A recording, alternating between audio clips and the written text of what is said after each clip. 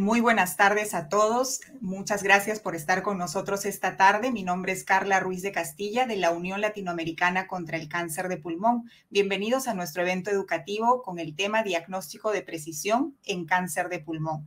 Esta tarde nos acompañan el doctor Alberto Fernández Villar, que es jefe del Servicio de Neumología del Chubi Área Sanitaria de Vigo, profesor asociado de medicina, coordinador de la docencia de grado de medicina en el área sanitaria de Vigo de la Universidad Santiago de Compostela desde España. Se conecta también con nosotros con el tema biomarcadores y diagnóstico preciso el doctor Edgardo Santos, quien es oncólogo médico del Florida Precision Oncology, es especialista en oncología torácica y ha recibido el premio Spirit en la Sociedad Estadounidense de Cáncer y actualmente es presidente del comité del programa de Sociedad Estadounidense de Oncología Clínica de Florida, Flasco. Luego nos acompañará también el doctor Rodrigo Mota, que es médico oncólogo egresado de la Universidad Peruana Cayetano Heredia de Perú y es miembro de ASCO, ESMO y ASCL y es médico oncólogo e investigador del Departamento de Neoplasias Torácicas del Centro Oncológico Aliada en Perú.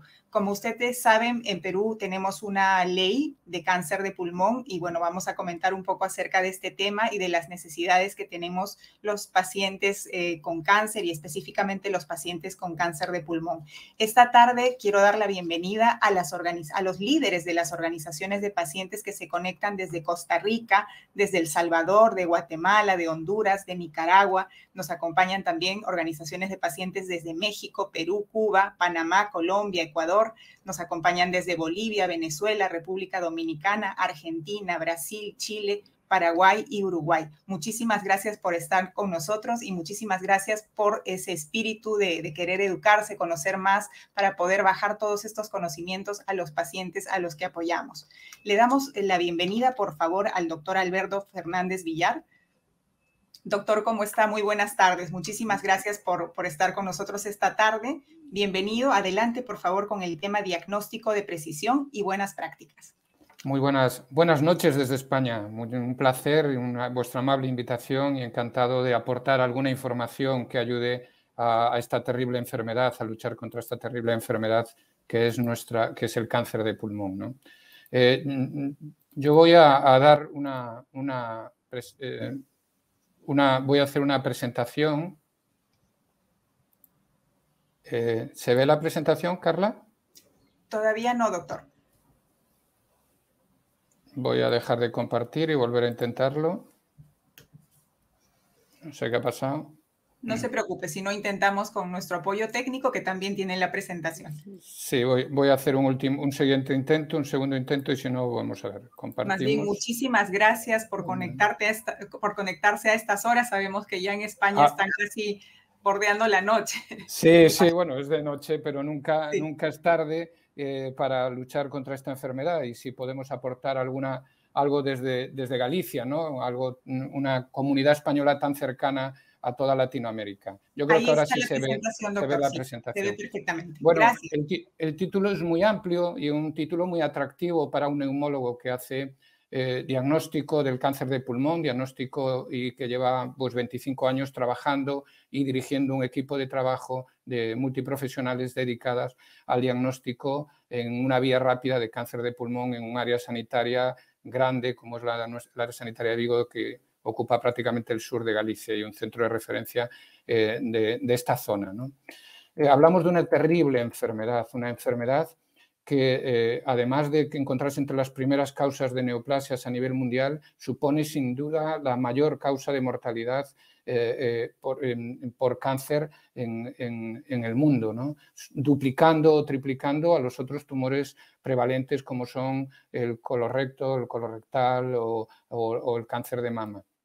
Y se debe fundamentalmente, entre otras razones, a que llegamos tarde Llegamos tarde al diagnóstico y diagnosticamos un porcentaje muy alto de pacientes en fases ya avanzadas de la enfermedad, localmente avanzadas o con afectación metastásica.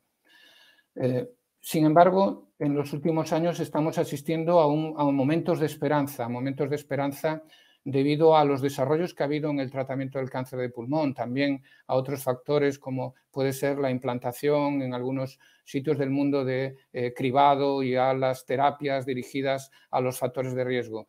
Pero en cuanto con respecto a la terapia, al diagnóstico preciso y al tratamiento de precisión, lo que hemos asistido en los últimos años es a, una, a la aparición de nuevos fármacos eh, y combinaciones de fármacos y a un mejor conocimiento de la enfermedad que nos está abriendo la esperanza a aumentar la supervivencia, aumentar la calidad de vida de los pacientes que diagnosticamos con cáncer de pulmón. Se han reconocido una serie de dianas moleculares eh, eh, y ahora todos los que hemos empezado hace más de 10 años que caracterizábamos el cáncer en no microcítico o microcítico, ahora tenemos que dar un paso más, ir no solo a la caracterización de dianas específicas para el tratamiento eh, eh, molecular, sino también a, las, eh, a, la, aquellas expresiones de marcadores que nos hagan a los pacientes, nos indiquen a qué paciente se va a beneficiar de la inmunoterapia, que es la otra gran alternativa a la quimioterapia convencional que tenemos, además de las terapias moleculares. Sabemos que ya hay fármacos aprobados, hoy los siguientes contertulios, los siguientes ponentes van a hablar con detalles, son oncólogos, se dedican específicamente al cáncer de pulmón, son expertos, como nos ha explicado Carla en el tema. Yo soy un neumólogo que hace diagnóstico, eh, intento hacer un diagnóstico de precisión y gestionar el diagnóstico para que sea realizado de la forma más eficaz y más segura. Eh, tenemos ya, eh, sabemos que ya hay aprobados, por lo menos en España, en muchos países de, europeos, en el norte de, eh, América, eh, eh, terapias combinadas, terapias o monoterapias con inmunoterapia y tanto en enfermedad sistémica como en enfermedad localmente avanzada, siempre después de un tratamiento quimio-radioterápico. Pero ya hay evidencia científica y espero que pronto, en los próximos meses, ya haya indicaciones de tratamientos con inmunoterapia, además del tratamiento moleculares que nos detallarán como neoadyuvante o adyuvante en pacientes con estadios más precoces de la enfermedad. Pero no nos debemos olvidar que paralelamente a todo este desarrollo también hay mejoras, tenemos avances en los tratamientos, en, las técnicas diagnósticas. ¿no? Eh, el ejemplo es la ecobroncoscopia, quizá más que una evolución, una revolución, la tomografía de emisión de positrones, también en la caracterización funcional de los pacientes, como es la tenemos más, mejor capacidad predictiva con las técnicas de, determinación funcional, cardiorrespiratorias y también avances en la radioterapia con la, terapia por con protones. Hablar de diagnóstico de precisión de los pacientes con sospecha de cáncer de pulmón es difícil de separarlo de todo este contexto que les intento representar en esta slide, en esta diapositiva en el que explico un poco cómo es el proceso del proceso asistencial del paciente hasta que se toma una decisión terapéutica. Y es un proceso que es difícil de separar una parte de otra, desde la sospecha hasta la decisión, hasta que haya una reunión de un comité multidisciplinar que enriquece muchísimo las decisiones y que se decida eh, el tratamiento eh, mono especialidad o combinado para eh, más adecuado a cada, a cada, paciente y en cada contexto. Y por lo tanto, separar la confirmación diagnóstica, la estadificación, la caracterización molecular y la evaluación funcional de los pacientes es francamente difícil o prácticamente imposible. Y además debemos de hacerlo con cierta, con eficiencia, con efectividad, con seguridad para el paciente, intentando dar una prestación equitativa a todos nuestros pacientes, independientemente de, eh, dónde trabajemos, con rapidez y centrándonos en la adaptación a cada caso, evitando que el paciente se pierda ¿no? en un sistema de un especialista a otro, de un hospital a otro, para eh, ser y que sea elegida la mejor terapia.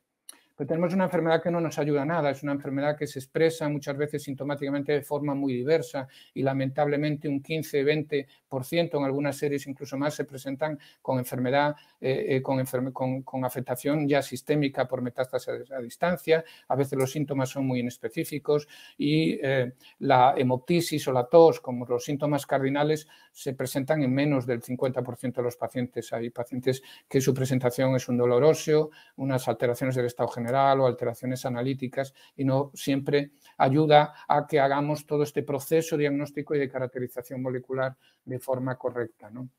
La radiografía tiene una eh, alta sensibilidad, pero una reducida eh, especificidad y a veces es difícil de confundir, es fácil de confundir con otros procesos infecciosos. El TAC nos ayuda, nos permite caracterizar el tumor, eh, hacer una aproximación diagnóstica y sobre todo hacia qué técnica diagnóstica podemos ir en función de las que dispongamos. Eh, si vamos a empezar con una broncoscopia convencional, vamos a hacer un diagnóstico de, a través de una biopsia de alguna lesión ya satélite accesible, supraclavicular, axilar o incluso a nivel hepático, porque recomendable que el estudio incluya el cuello, incluya desde la base del cuello hasta el, abdomen superior. Y hoy el PET nos da muchísima información, sobre todo en la caracterización mediastínica y en la búsqueda de enfermedad silente metastásica. Eh, hasta un 10-20% de los pacientes pueden aparecer enfermedad metastásica que no hemos conseguido eh, eh, sospechar a través de las técnicas convencionales. El proceso diagnóstico en el que definir el tipo de tumor y caracterizarlo molecularmente van incluidos en el mismo escenario y es difícil, por no decirlo, yo creo que eh, eh, es casi imposible de separarlo, es un proceso más o menos estandarizado.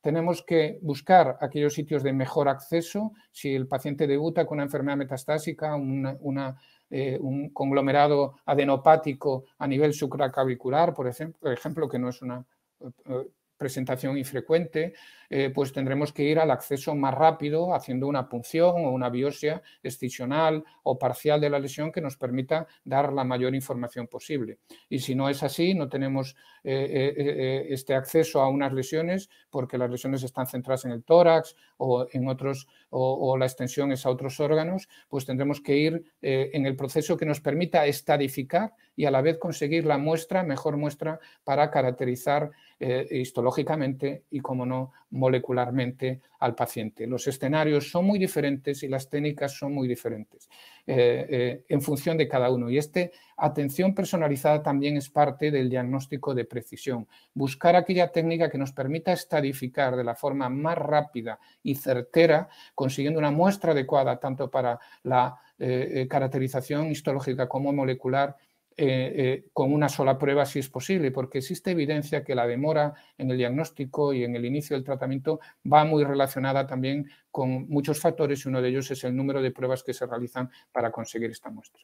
Por lo tanto, las posibilidades que tenemos, además de la broncoscopia y todas sus técnicas accesorias, biopsia, punción, ecobroncoscopia, es, es muy variada y podemos tener a veces la muestra en una técnicas de citológicas de obtención de líquido pleural o biopsias pleurales, eh, en técnicas a veces incluso quirúrgicas que son necesarias. Si con eso tenemos nos abre la posibilidad de hacer un tratamiento dirigido, un diagnóstico preciso, si es necesario hacerlo por una técnica quirúrgica, en estos momentos, siempre que la técnica quirúrgica sea una técnica segura y el equipo profesional que lo realice tenga experiencia, pues no es algo que se pueda descartar y mucho menos. Muchos pacientes se diagnosticarán por técnicas de eh, radio eh, radio, de radiología intervencionista, punciones transtorácicas dirigidas por TAC normalmente. Nosotros mismos en nuestro servicio, si la lesión toca es, eh, a nivel de pleura, está cercana a la pleura, podemos hacerlo incluso por técnicas ecoguiadas o, como no, biopsia, como les decía, de lesiones adenopáticas. Es muy importante que ajustemos nuestro proceso de, de precisión, nuestro proceso diagnóstico a cada escenario en los que tenemos. Se definen cuatro escenarios para la caracterización de la afectación torácica según tengan componente ganglionar o no, si estas adenopatías son bulky o muy grandes o son más pequeñas o existe una sospecha de que pueda existir una afectación mediastínica eh, silente. Existen diversos algoritmos que nos permiten dirigir las pruebas diagnósticas, pero también tenemos que depender mucho, va a depender mucho de las posibilidades eh, de la disponibilidad de estas técnicas en cada centro. Y esto es algo que debemos de tenerlo en cuenta, como ahora comentaré.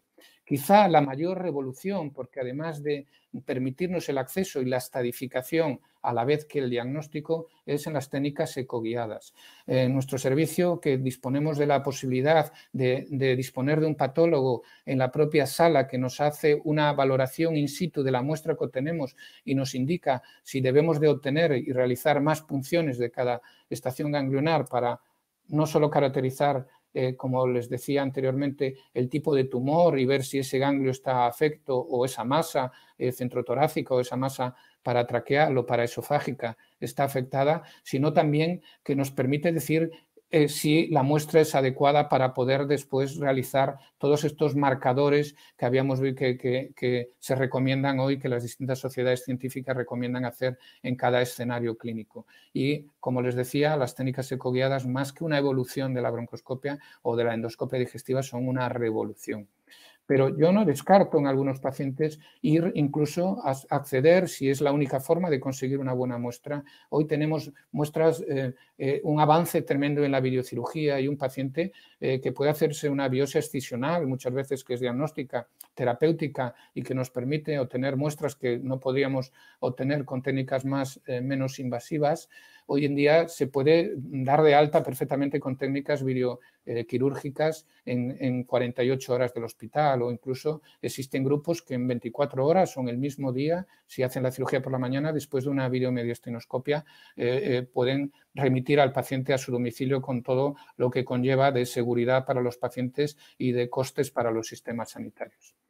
Como les decía, y creo que los próximos ponentes van a eh, describir con mucho más detalle estas dianas terapéuticas y las posibilidades que tenemos, hoy en día no nos podemos conformar con los dos primeros cristales que obteníamos hace una década o década y media. Hoy tendremos que caracterizar inmunohistoquímicamente al tumor, tendremos que caracterizarlo molecularmente y hay una serie de pruebas esenciales y por lo menos una aproximación inicial con eh, viendo la, la expresión del receptor del ligando de muerte celular programada, del, reordenamiento de la LK o del ROS1, como no las mutaciones del EGFR por distintas técnicas, ¿no? distintas técnicas que dependen en función de las posibilidades de cada centro. Y esto a veces que hay que derivarlas a otros centros de mayor calibre, de mayor experiencia supone eh, un problema de gestión y retrasos en las posibilidades terapéuticas o el acceso a estos fármacos, como nos comentarán, en las posibilidades terapéuticas que le ofrecemos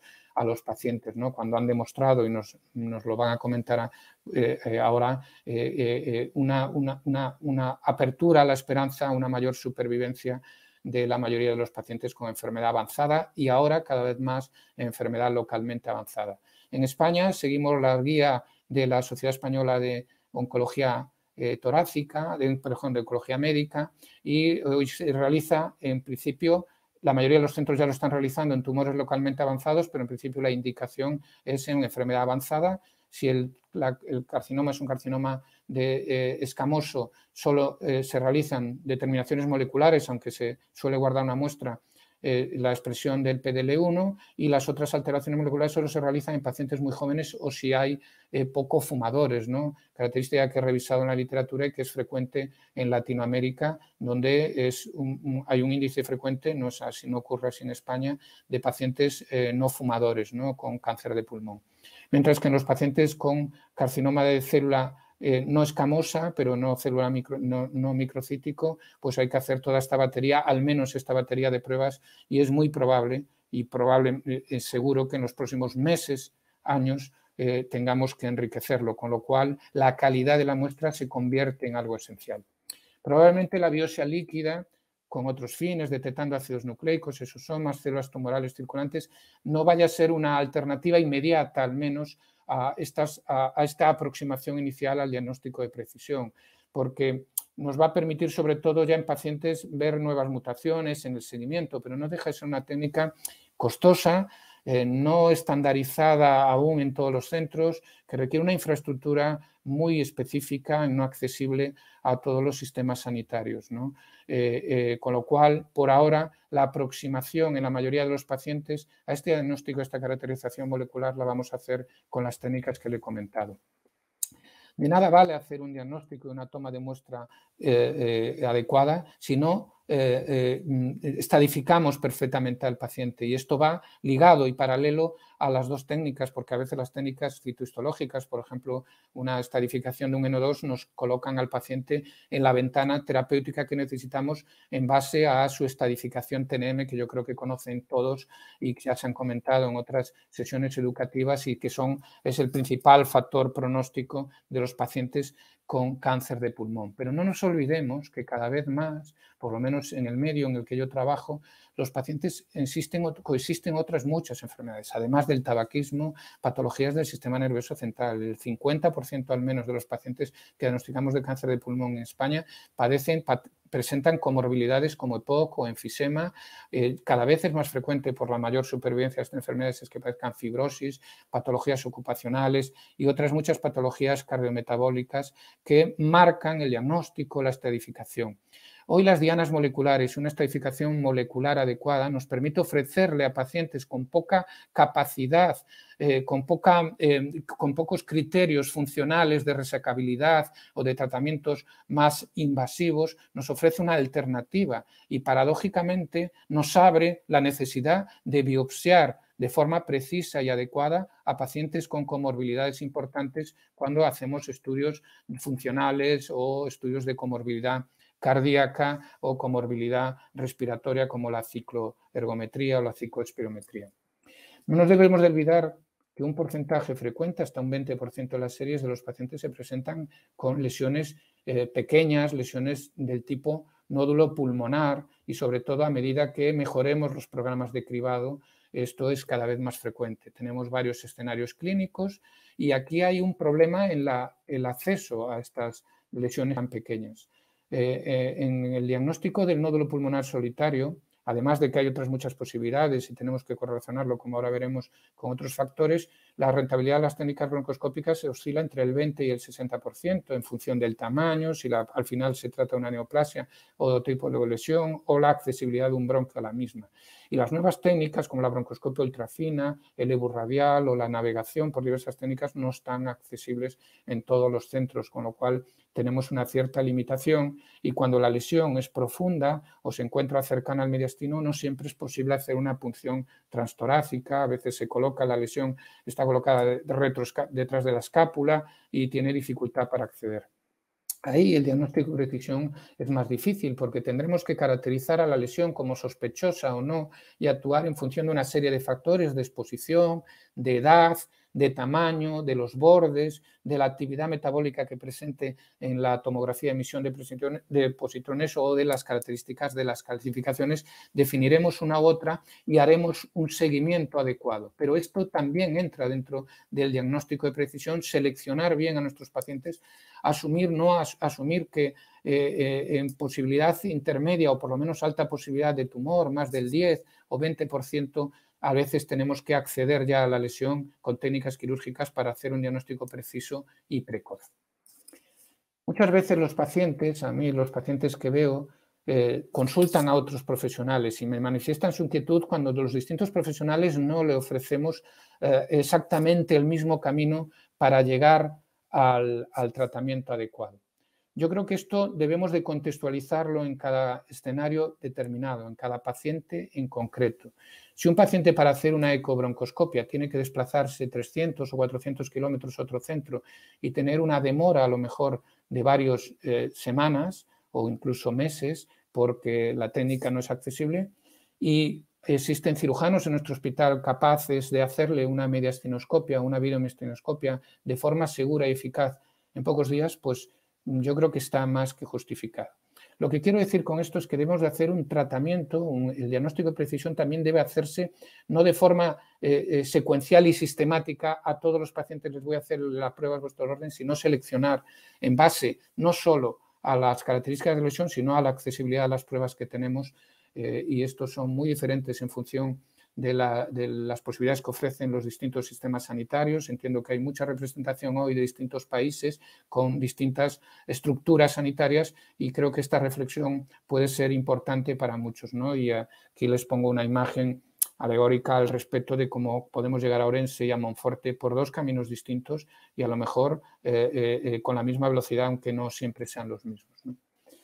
Sin duda, de todas estas slides que se presenta en esta, en esta imagen, que son, estas son pantallazos de la historia clínica electrónica del sistema sanitario que tenemos, de la historia clínica electrónica de, de la comunidad gallega, que se llama Janus, donde hay una sospecha diagnóstica, eh, nos emiten una alerta a los radiólogos, le hacemos un TAC, una broncoscopia, una caracterización funcional, un PET, La más importante es la que tienen todos en la parte inferior de sus pantallas a la izquierda, que es la decisión multidisciplinar, donde los neumólogos, con oncólogos médicos, oncólogos radioterápicos, cirujanos, radiólogos, patólogos, farmacéuticos, enriquecen muchísimo las decisiones de tomar el diagnóstico. Y hoy en día es la parte, y hay que, más que evidencia demostrada, que las decisiones multidisciplinares cambian el pronóstico de los pacientes, aportan riqueza. Y a mí lo que me dice el oncólogo, este paciente, aunque tenga mala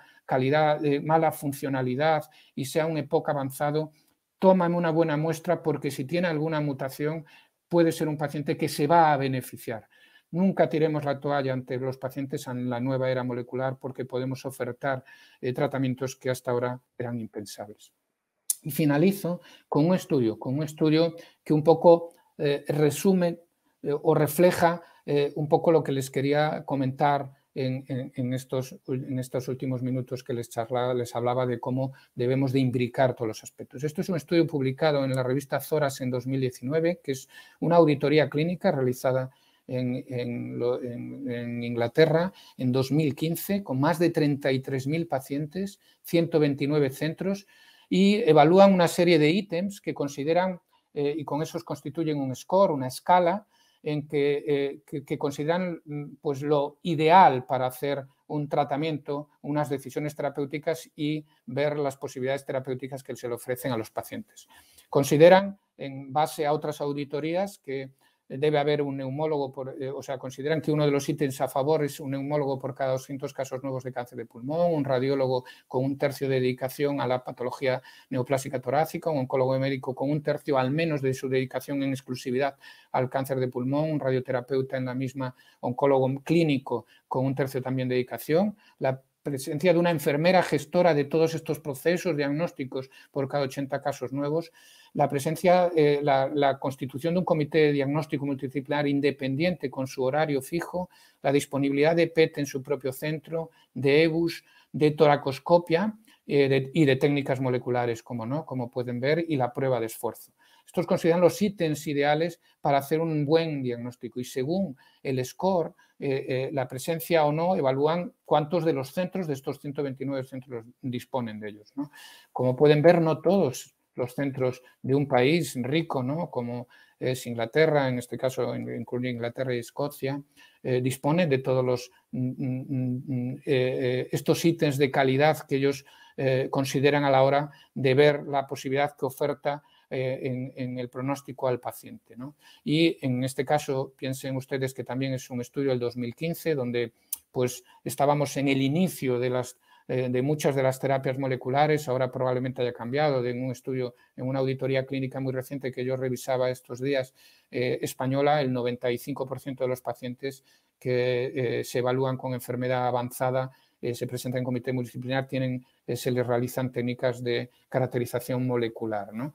Pues con estos ítems, y no cumpliéndolos todos, en un estudio multivariante demuestran que si tú tienes un score en una puntuación de 0,4, eh, consideran como el valor de referencia a la hora de iniciar el tratamiento de forma precoz en menos de 62 días, el tratamiento con intención curativa o la supervivencia, la supervivencia en el primer año de, eh, eh, desde el diagnóstico. Si la puntuación este score organizativo es entre 5 y 7, aumenta la probabilidad de inicio del tratamiento eh, un 14%, de tratamiento con intención curativa del 13% y de supervivencia de forma superior a un 89%. Pero cuando te encuentras entre 8 y 11, en esta escala de ítems que consideran, miren, 49% de inicio de tratamiento de forma precoz, 62% de intención curativa y 2,30, 230 eh, eh, veces, perdón, 130 veces más, 130% eh, más de probabilidad de que el paciente sobreviva al año. Con lo cual, incluyamos este diagnóstico de precisión en las técnicas adecuadas, en una estadificación correcta para que estos pacientes se beneficien, nuestros pacientes con cáncer de pulmón se beneficien. Concluyo con algunas reflexiones, unas conclusiones o cuestiones un poco que dejo para el debate eh, eh, con, ustedes. Y, que son cuatro fundamentalmente. El diagnóstico de precisión es clave para mejorar el abordaje terapéutico del cáncer de pulmón y mejorar el pronóstico. Ya veremos cómo en las próximas dos eh, ponencias nos van a insistir en esto y nos lo van a demostrar con datos. En este concepto debe incluirse no solo la evaluación del tipo de tumor y la caracterización molecular, sino también la correcta estadificación y evaluación funcional de los pacientes. Para ello es necesario disponibilizar una serie de profesionales con experiencia y, como no, la accesibilidad a tiempo adecuado, de forma adecuada a las técnicas instrumentales, a la posibilidad de hacer todas estas caracterizaciones moleculares y, como no, a los nuevos tratamientos. La evaluación multidisciplinar en una enfermedad tan heterogénea y compleja es esencial y quedo, como no, a su disposición para las preguntas o reflexiones que quieran hacerme.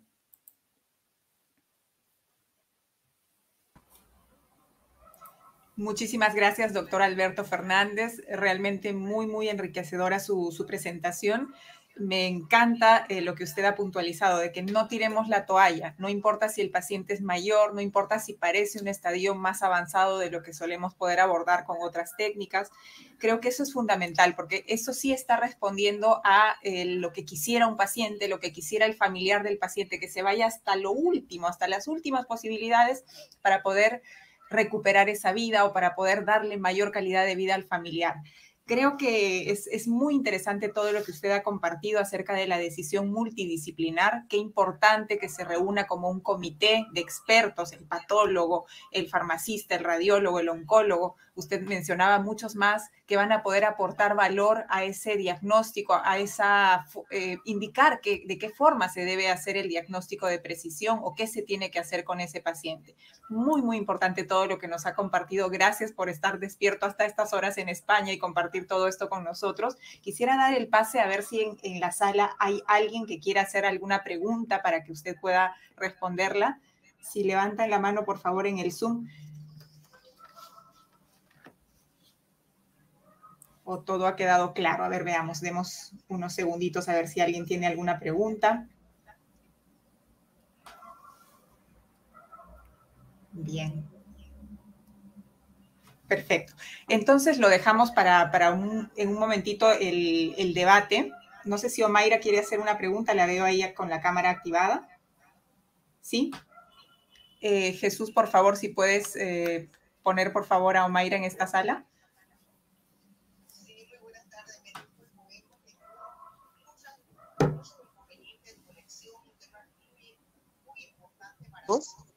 Eh, hoy día este, les puedo comentar, siendo de la Asociación de Pacientes de Quimioterapia Sonapac Panamá, eh, muchos pacientes hoy día están con la situación de cáncer de pulmón eh, posterior al cáncer de mama. Es una situación que siempre me ha llamado mucho la atención el, el por qué, ¿no? El por qué. Si muchas nos dicen que nunca han fumado, Así que me gustaría este, eh, que el doctor... Sí, sí, yo, eh, yo llevo 25 años como neumólogo y era una rareza ver el cáncer de pulmón como segunda neoplasia. Gracias a, los avances eh, que estamos teniendo y las mayores supervivencias que hay en otros tumores, ya vemos el cáncer de pulmón de como segunda neoplasia, incluso como tercera neoplasia. Antes solo eran tumores localizados de otorrino o tumores localizados vesicales, que hacían que el paciente podía curarse y desarrollaba un cáncer de pulmón posteriormente. Ahora ya tenemos muchos. Nosotros, eh, muchos de los pacientes que vemos con cáncer de mama como tumor previo, tienen radioterapia previa. Se sabe que la neumonitis radica eh, que es una secuela habitual de las terapias, sobre todo de las terapias radioterápicas más convencionales, la cobaltoterapia, las técnicas menos dosificadas que dan más radiación y dañan más las estructuras, puede ser un factor predisponente. Y luego en cáncer de pulmón tenemos algunas, sabemos muchos avances, pero tenemos una asociación familiar a veces entre pacientes que no sabemos explicar por marcadores como si está avanzado en otros tumores y que quizá los oncólogos que van a hablar a continuación nos podrán dar alguna luz al respecto. Pero una de las, una de las eh, consecuencias puede ser eh, una de las razones podría ser eh, pacientes que hayan recibido radioterapia previa sobre el lecho mamario después de una mastectomía o sobre la axila, tienen daño pulmonar rádico que es un factor predisponente, igual que la tuberculosis, ¿no? muy frecuente en Latinoamérica, muy frecuente en España en Galicia, especialmente hasta hace dos décadas también. son factores de riesgo predisponentes de, de lesiones pulmonares, lo que se llaman tumores de cicatriz o cánceres de cicatriz, que también existen a nivel pulmonar.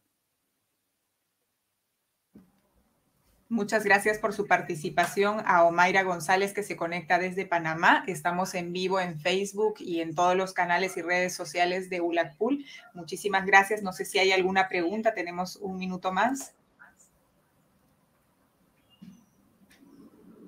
Bien, continuamos entonces, doctor. Lo esperamos para el cierre y le damos inmediatamente la bienvenida al doctor Edgardo Santos el doctor Edgardo Santos es oncólogo médico del Florida Precision Oncology, especialista en oncología torácica, torácica. Ha recibido el premio Spirit de la Sociedad Estadounidense de Cáncer y actualmente es el presidente del comité del programa de la Sociedad Estadounidense de Oncología Clínica de Florida, Flasco. Todo un honor tenerlo esta tarde. Doctor, adelante, por favor, bienvenido.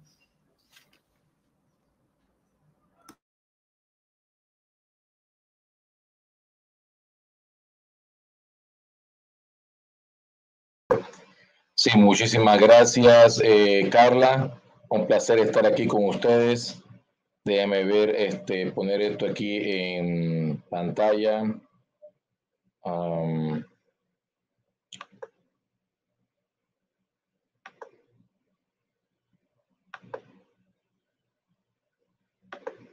perfecto. ¿Me dice si me puede ver bien? Sí, doctor, está perfecto. Perfecto. Bueno, primero que nada, un placer a, ti, Carla, por la invitación. Es un placer hablar para todas las organizaciones que tienen que ver con cáncer de pulmón y me encanta que nuestros pacientes eh, estén organizados. Eh, acabo de escuchar a la señora Omaira, que es de Panamá. Yo soy nacido en Panamá y de la Universidad de Panamá. Eh, hice internado en Panamá, hice residencia en el complejo hospitalario de Panamá y en los finales del año 90 eh, vine acá a reentrenarme nuevamente en los Estados Unidos y hacer investigación. Y toda mi investigación ha sido básicamente en, cáncer de pulmón. para responderle también a la señora Mayra, el problema es que eh, hay mucho que tiene que ver también con el ambiente. La exposición al radón eh, se ha consignado eh, como uno de los factores eh, importantes en aquellos pacientes que nunca han fumado y que han desarrollado cáncer de eh, pulmón. también otro tipo de agentes tóxicos, hidrocarburos, no necesariamente el hecho de que el paciente tiene que fumar también está asociado con cáncer de pulmón, la inflamación crónica.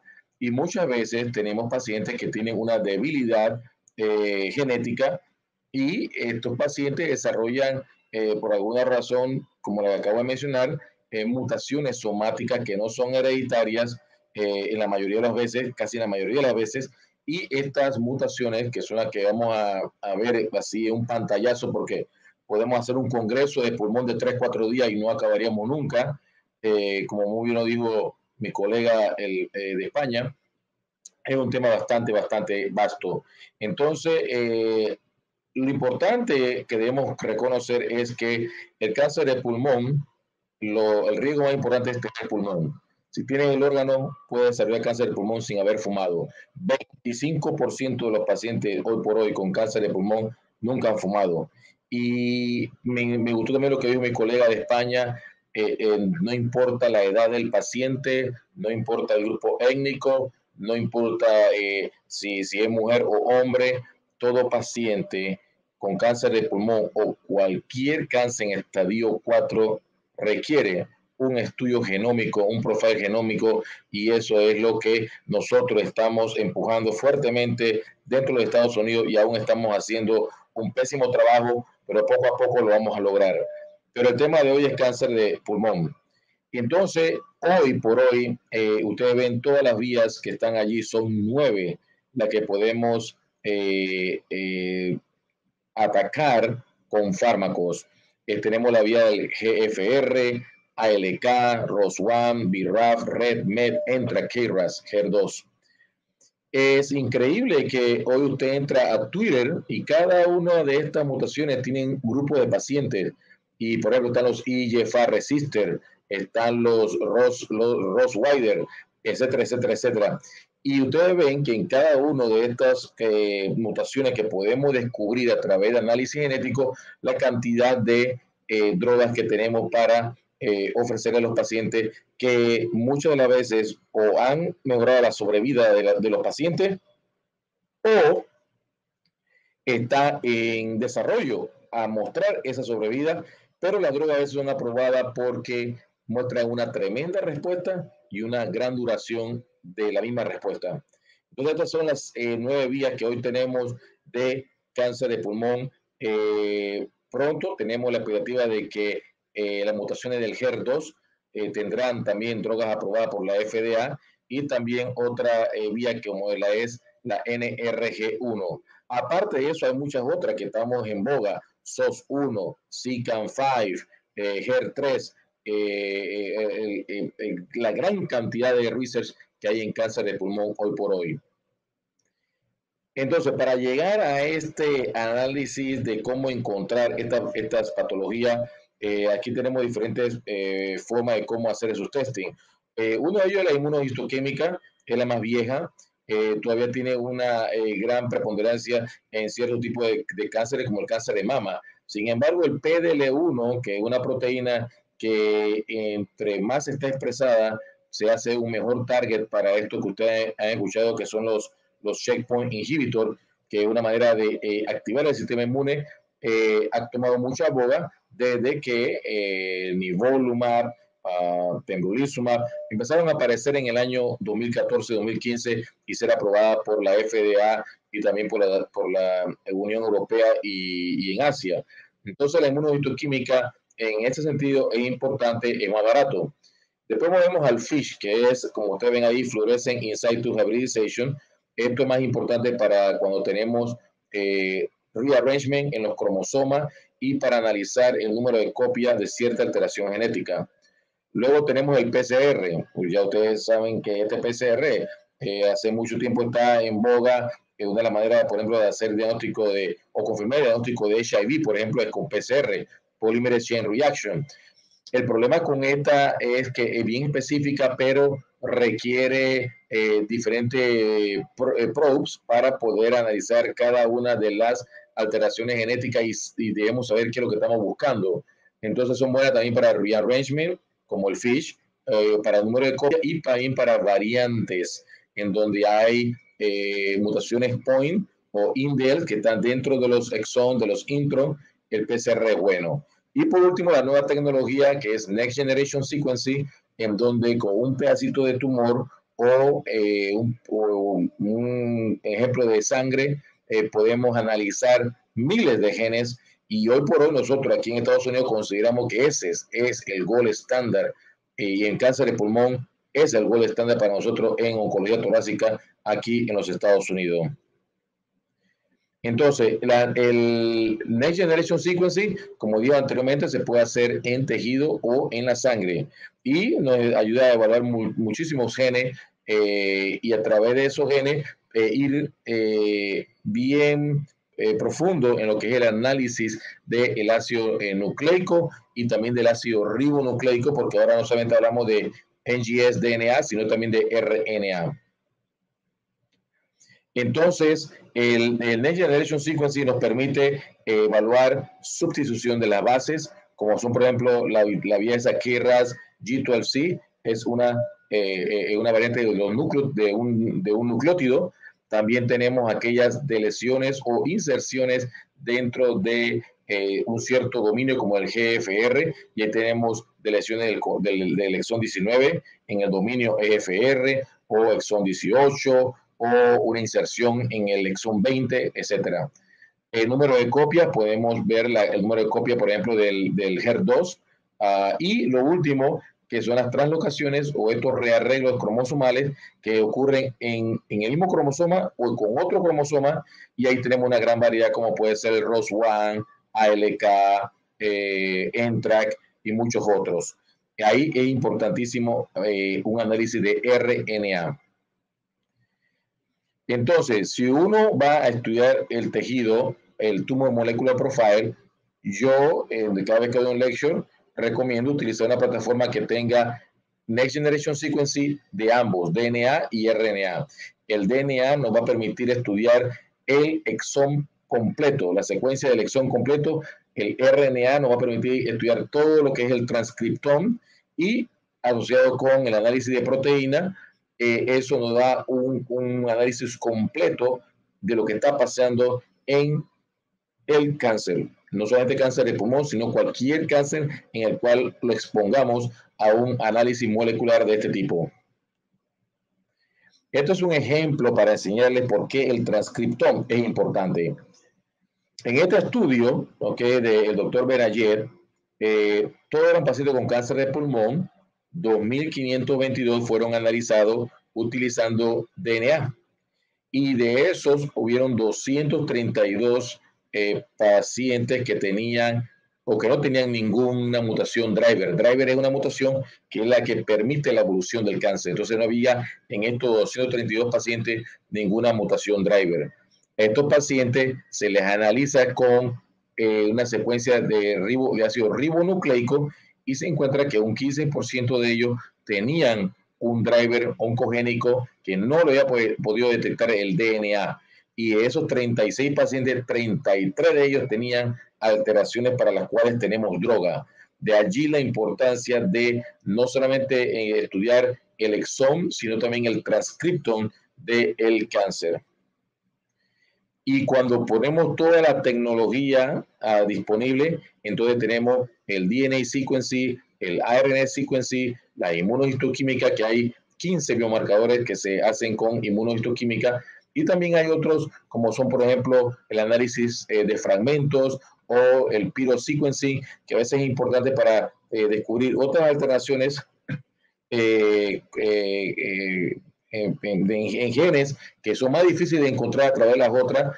hay una vía que es bien común en pacientes con glioblastoma multiforme, para lo cual el paro sequencing o el análisis de fragmento es importante.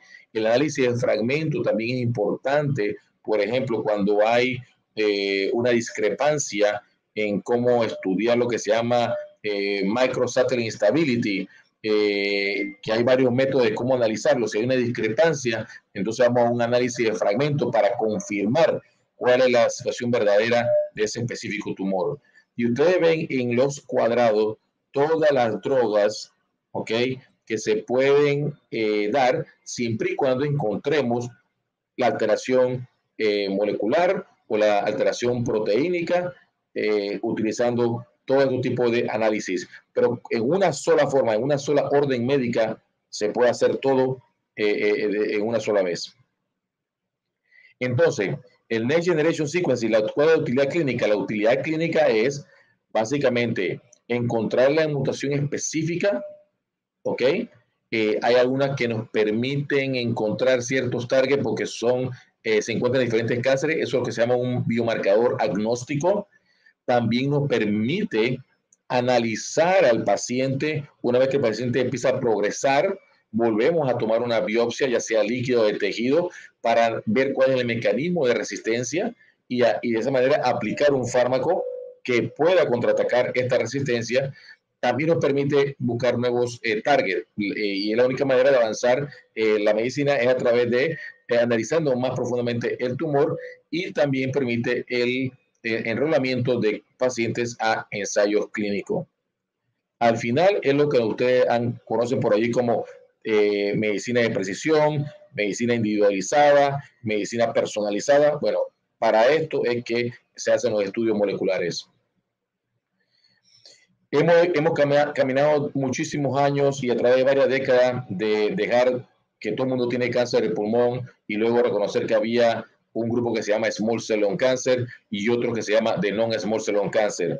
Y el Non-Small Cell Lung Cancer después lo, dividimos en cáncer escamoso, eh, cáncer eh, adenocarcinoma, eh, otro de célula larga. Eso era la parte histológica, pero eso no era suficiente. Ahora hay que ir profundamente y mi colega de España está en lo correcto. Muy prontamente, y ya están en las guías aquí en los Estados Unidos, recomendamos ya los análisis genéticos para pacientes con cáncer escamoso. Eh, y esta es lo que se llama la patología molecular. Eh, y, con la, y con el avance de nuevas drogas como la inmunoterapia, salen entonces otros eh, biomarcadores como el PDL1, que es a través de inmunohistoquímica, y la carga mutacional, que la, solamente la podemos analizar en este momento por Next Generation Sequencing, porque necesitamos análisis suficiente de, miles de genes para saber si el paciente, eh, el tumor del paciente en sí, tiene mucha variabilidad mutacional, cosa que sea más factible para el sistema inmune reconocer todas eh, esas mutaciones como proteínas no propias del sistema y entonces las células linfáticas atacar al tumor.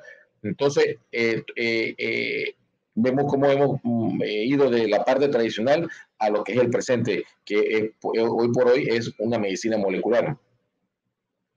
Entonces voy a hablar sobre la biopsia líquida y la biopsia líquida es importante por muchas razones. Uno, es fácil. Es tomar el examen de sangre a un paciente no toma ni, ni un minuto es solamente no invasivo. Y aparte de eso, el tiempo en el que demora el, el resultado es sumamente impresionante, sumamente rápido.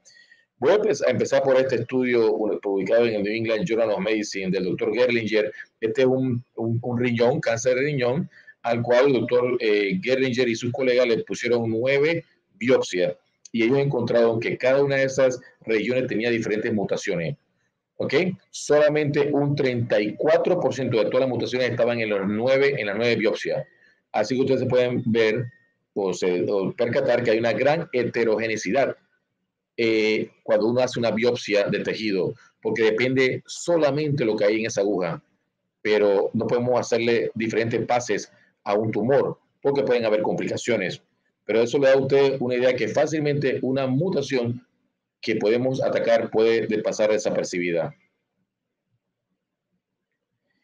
Aquí esto es, compara el tejido, eh, en lo que es el Next Generation Sequencing de tejido contra el plasma eh, en 165 eh, casos que se hicieron un, un, pareo de cinco grandes centros aquí en los Estados Unidos y vemos que las abajo la sensitividad para lo que se llama el cell-free DNA versus el tejido es 85% para en la sangre, 80% para el tejido, la especificidad es muy parecida y lo, lo, lo, la accuracy, la precisión de ambos, ya sea en sangre o en tejido, es muy similar. Y aquí vemos que en el tejido, en la, perdón, en la sangre, cuando compararon eh, este particular test, que en aquel entonces solamente tenía 54 genes, hoy ese mismo test tiene 73 genes, contra un sequencing eh, del, sistema completo, vemos que la eh, especificidad era de 99.9%. Eh, y había un solo caso, un solo falso positivo, que cuando se mandó a revisar en la Universidad de Stanford, eh, estaba equivocado, estaba correcto en la biopsia líquida. ¿Cómo trabaja esto? Bueno, básicamente la biopsia líquida depende de que el tejido envíe células tumorales a la sangre. Esa célula tumoral va a, morir en la sangre y va a quedar el DNA circulante. Y eso es lo que esta biopsia líquida, en este, en este caso particular, un test que se llama Gardan 360, captura este DNA y lo analiza en una secuencia eh, de genética y da los resultados de qué es lo que está ocurriendo en el sistema del paciente. Es importante en cáncer de pulmón, teniendo tanta terapia, de que no se nos vaya a escapar ninguna de estas vías para la cual tenemos terapias dirigidas al blanco. Y ahí están eh, todas las vías eh, que hoy por hoy tenemos eh, aprobadas, no solamente aquí en Estados Unidos, pero en muchos países. Es bien triste cuando vemos estas estadísticas, que menos del 50% de los pacientes que tienen una mutación del GFR o de AL fueron tratados con una medicina que se llama inhibidor de la tirosina quinasa. Es bien deprimente, eso no puede pasar. Pacientes con, con mutación del GFR y con ALK deben ser tratados de inicio con estos agentes, que son agentes eh, orales, no son agentes sistémicos, no son intravenosos. ¿Por qué? Porque no solamente han sido superior a la quimioterapia, sino también superior a la inmunoterapia. Entonces, volviendo al tema del tejido, el tejido tiene muchas limitantes, es un proceso largo, eh, eh, solamente contamos con lo que eh, el pulmonólogo a través del IVOS o el radiólogo intervencionista a través de la aguja dirigida por CAT scan son, pudieron obtener. ¿Me explico? Y entonces yo a mis colegas les pido siempre, por medio a los de radiología, dos biopsias grandes. Una para histopatología, porque tengo que saber qué es lo que está pasando, y lo que queda allí lo mando para genética y otro solamente para genética, cosa que podamos entender lo que está ocurriendo con el paciente. ¿Qué pasa? Que si nada más hay un pequeño tejido para hacerle estudio histopatológico, si el patólogo no tiene cuidado, puede acabar con el tejido haciendo una serie grande de, de inmunohistoquímica y esa no es la idea. La idea es saber cuál es el diagnóstico y tener tejido de sobra para hacer los análisis moleculares. De lo contrario, no hemos hecho absolutamente nada. Esto para indicarles que cuando tratamos a los pacientes con las terapias dirigidas al blanco, si el paciente tiene una mutación, la respuesta es del 50 al 83%. Si ese mismo paciente lo tratamos con inmunoterapia porque el médico estaba muy apurado, el paciente demanda que el médico lo trate porque tiene síntomas, lo que puede pasar es que la respuesta va a ser pobre teniendo esta mutación. Yo tengo pacientes con GFR sensitivos y con PDL1 de 90, 100%, que yo le digo al paciente, I'm sorry, lo siento, hay que esperar. Tome, hay que esperar. No vamos a correr porque tiene un alto PDL1 a darle inmunoterapia, porque si ese paciente tiene una mutación driver, no le va a ir bien con la inmunoterapia. La primera línea de terapia para estos pacientes son las terapias dirigidas al blanco. Un casito clínico de cáncer de pulmón, 44 años de edad, femenina, con tos persistente, pérdida de peso, se diagnostica, se diagnostica con cáncer de pulmón, estadio 4, adenocarcinoma. Tiene también lesiones cerebrales.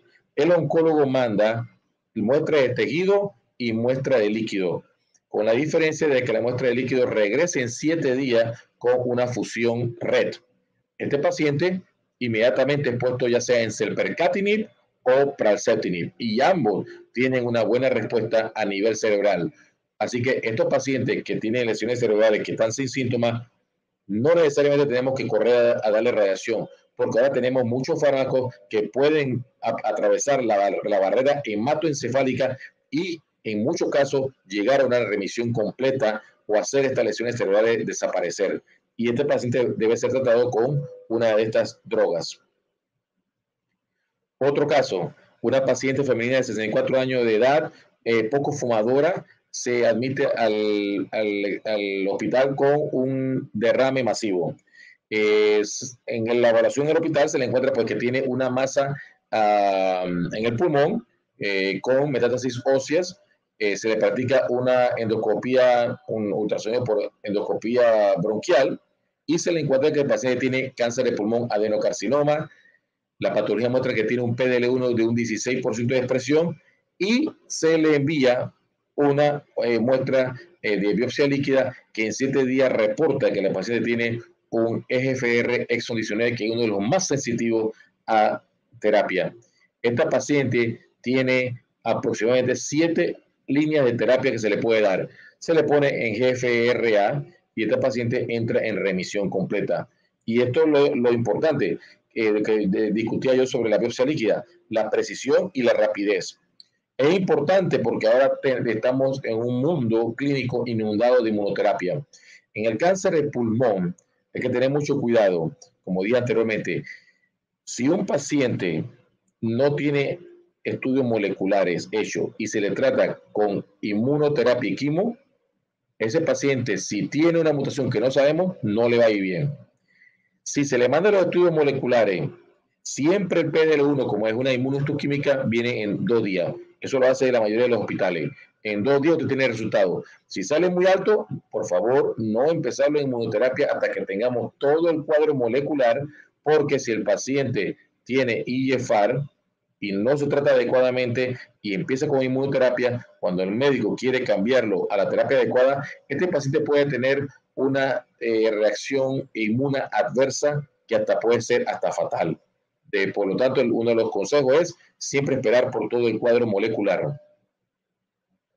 Este es un estudio prospectivo de la doctora Natasha Lane, 282 pacientes con tejido molecular enviado a discreción del, del, médico. Eh, hay muchas plataformas aquí en los Estados Unidos. Ellos podían escoger cualquiera y todos fueron a biopsia líquida con el estudio este de Garden 360. El estudio buscaba, uno, la detección de los biomarcadores genéticos aprobados por las guías y lo otro era el tiempo que se demoraba la biopsia líquida mostró ser superior a la de tejido. No fue inferior, pero los números están a favor de la biopsia líquida. 98% de concordancia para los cuatro biomarcadores que existían en el 2018. Ya van tres años y ya no tenemos cuatro, tenemos nueve. Para que vean lo mucho que hemos avanzado en el cáncer de pulmón en cuanto a terapia. 27% más de pacientes con biomarcadores detectados utilizando la biopsia líquida sobre la biopsia de tejido. Por cierto, ambos tienen Next Generation Sequencing, para que le dé una idea. Y el tiempo, cuando el, eh, eh, que se publicó, era 15 días para tejido, 9 para la biopsia líquida. Al estar terminado este, este, esta, este estudio, el tiempo medio para recibir el resultado, hoy por hoy, es 7 días, hasta 5 días hemos recibido eh, los resultados de la biopsia líquida. Entonces, uno de los, de los, de los issues es hacer tumor en Next Generation Sequencing, DNA más o menos RNA. Hoy por hoy digo yo que debe ser DNA y RNA, como muchos de mis colegas en oncología torácica, versus el plasma que es DNA. El plasma se ha quedado un poco atrás, porque como yo dije anteriormente, NGS, DNA es lo único que tenemos en plasma. Pronto viene una plataforma en la que los estudios de biopsia líquida de sangre tendrán ambos, DNA y RNA. Pero este es el estudio del doctor Cory Langer como senior author y mi amiga Charu Agarwal de la Universidad de Pensilvania, para que ustedes vean lo importante que es la biopsia líquida. Aquí, en esta institución, que es una de las mejores en Filadelfia, el 44% de los pacientes que tuvieron biopsia de tejido no se les pudo hacer estudio molecular porque no había tejido suficiente.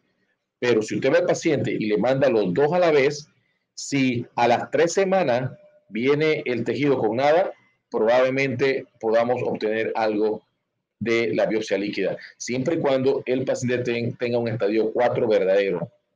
¿Qué quiero decir con esto? Un paciente con cáncer de pulmón que tenga lesiones en la adrenales, en el hígado, en el hueso, es un estadio 4. ¿Por qué? Porque también hay pacientes que tienen estadio 4 porque hay enfermedad en ambos pulmones, pero ese paciente no envía células tumorales a la circulación. Así que la posibilidad de que encontremos DNA circulante es muy mínima. Por estos dos estudios, sobre todo de la doctora Leil, en donde había más del 20% de los pacientes con biomarcadores, hoy por hoy en nuestra sociedad de torácica, el ISLC, que me, imagino que mi colega de Perú es miembro también del ISLC, eh, se está proponiendo eh, que primero la sangre y después el tejido. Entonces, esto, este, como hoy por hoy aquí en Estados Unidos, este es el, test que más se utiliza. Si usted en una forma, en una orden, usted marca los dos. Primero va la sangre y en siete días tenemos resultado. Si no encontramos nada, cuando usted ordena la sangre, se está pidiendo también el tejido. Cosa de que si al séptimo día no hay resultado en la sangre, ya la compañía tiene el tejido en su laboratorio y demora siete o ocho días más para eh, obtener el resultado a través del tejido. En total, unos, unas dos semanas. Y este, eh, esta sería mi conclusión. Mi conclusión es que hay muchísimos drivers, unas mutaciones que son drivers que tenemos que identificar. Imperdonable hoy por hoy que un paciente con cáncer de pulmón estadio 4 no tenga un estudio molecular y ya no hay excusa de que no había tejido suficiente porque está la biopsia líquida. Así que tenemos que hacer mejor porque inclusive aquí en los Estados Unidos, en un estudio presentado ahora en el Congreso eh, americano, el ASCO, de este año, la doctora Dibono de, de, de Boston mostraba unos números que son muy preocupantes en el cual un 55% de los pacientes tenían un estudio molecular hecho en primera línea. Eso no puede ser. un, paciente con estadio 4, el 100% de los pacientes debería de tener un estudio molecular hecho. De lo contrario, no vamos a poder mejorar la curva de sobrevida de nuestros pacientes con cáncer de pulmón. Aquí le dejo mi información, mi Twitter. Pueden sentirse con la eh, libertad de escribirme. Eh, le dejo mis dos correos electrónicos y también me pueden encontrar en LinkedIn. Así que eh, aquí está mi información.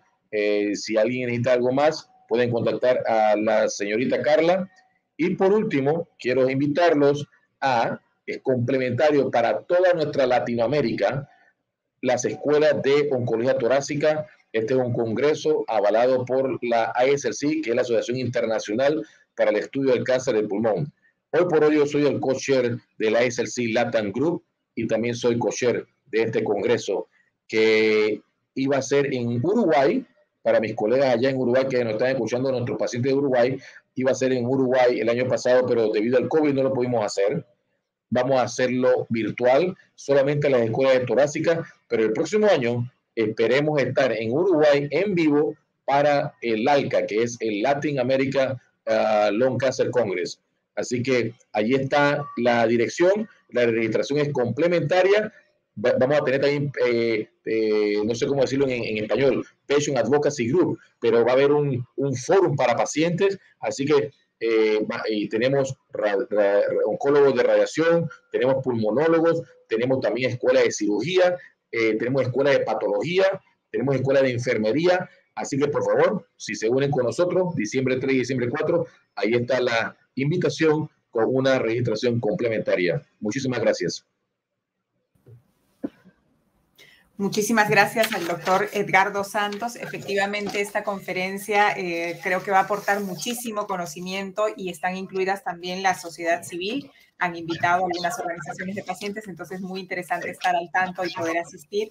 Doctor Santos, muchísimas gracias por todo lo compartido. Las buenas prácticas en Estados Unidos definitivamente evolucionan acerca de cómo eh, diagnosticar de manera más precisa a los pacientes. Ese definitivamente es el futuro, ¿no? Si diagnosticamos con precisión, vamos a saber qué darle a cada paciente, qué es lo que le hace más bien a cada paciente, cuál es la terapia indicada para ello. Muchas, muchas gracias. Quiero darle el paso, por favor, a Briseida Cantillo de Costa Rica, que se quedó con una pregunta antes. Briseida, adelante, por favor. Gracias, Caldita. Bueno, felicitar primero al doctor, ¿verdad? Una excelente ponencia y hay que, muy felices todos de ver las alternativas con los nuevos medicamentos que van a tener mejores opciones los pacientes, ¿verdad? Pero como en todo, aquí lo urgente también es el, el diagnóstico que sea temprano para que vaya a sobrevivir más tiempo el paciente, ¿verdad? Eso es vital. La pregunta mía que no me queda claro es, una, el bendito derrame pleural es típico de pacientes, ahora que el doctor hablaba anteriormente del cáncer de mama, es típico para pacientes de cáncer de mama que hacen metástasis a pulmón o también el derrame pleural lo pueden tener pacientes con cáncer de pulmón. El derrame pleural puede producirlo cualquier tipo, tipo de cáncer siempre y cuando haya lesiones metastásicas en la pleura. Sí, usted puede, el paciente, eh, a, muchas veces lamentablemente se hace el diagnóstico a través del derrame pleural, eh, si es maligno, y puede venir del pulmón, puede venir de la mama, puede venir del ovario, el ovario le gusta eh, mandar este, lesiones a la pleura, puede ser también un mesotelioma, Cualquier, cualquier cáncer puede producir un derrame pleural maligno. Okay, muchas gracias, doctor. Feliz tarde. A usted. Gracias, doctor Santos. Y quisiera confirmar si ya está con nosotros el doctor Mota. Sí, por supuesto. Muy buenas tardes. Gracias, doctor Santos. Muchísimas gracias. Le damos la bienvenida al doctor Rodrigo Mota Guerrero, médico oncólogo egresado de la Universidad Peruana Cayetano Heredia miembro de ASCO, ESMO y ASCL, médico oncólogo e investigador del Departamento de Neoplasias Torácicas en la Clínica Aliada de Perú. Bienvenido, doctor. Encantados de estar con usted esta tarde. Igualmente, es realmente este, un, un verdadero privilegio poder estar presente aquí con todos ustedes y hablarles sobre nuestra experiencia este, antes que todo, por favor, este, ¿me confirman que pueden escucharme bien y que pueden ver pantalla? Sí, doctor, imagen y audio perfecto, gracias.